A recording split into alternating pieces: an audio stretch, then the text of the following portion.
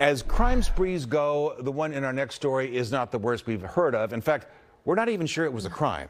Well, it was something an East Bay woman and her community wanted to make right. Garvin Thomas joins us now with their story in tonight's Bay Area Proud. Garvin. Janelle Terry, you've heard of little free libraries. Maybe Yeah, you've the seen them in boxes, your yeah. neighborhoods. Exactly. They're boxes. They've been around for a few years. They're boxes outside people's homes stocked with books and a simple message take a book, share a book. Well, last week, someone didn't live up to half that bargain in Livermore. Good thing, though, there was a community of people willing to pick up the slack. On Merlot Lane in Livermore, there is a home with a library of books on the outside and a lover of them on the inside. Libby Mihalka has loved to read from the moment she knew how to read. A book can pretty much get you through anything. I mean, you can hide in a book. You can read a book and it transports you to a different place, which is the best thing of all. Yeah.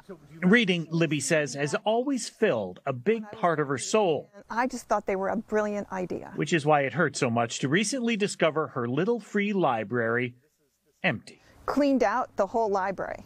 We're talking, you can see how many books are in here. There's over 50 books. Somebody just took all of them. What's more, Libby soon discovered she wasn't alone. A neighbor's security camera caught two women emptying their library on the very same night.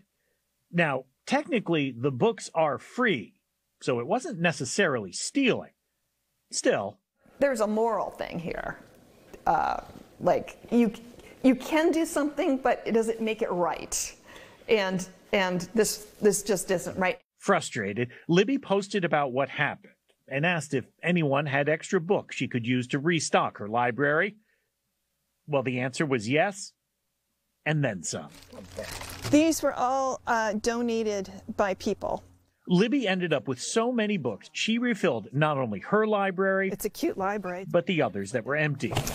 And then spent the past weekend traveling all over Livermore, restocking Got a little romance and one or two action books. and reorganizing Well, that's nice. as many little libraries as she could.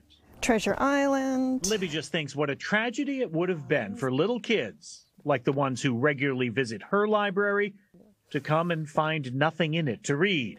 It's low. And how great it is then to have a community willing to help her write Right. a different ending. I love that. Yeah.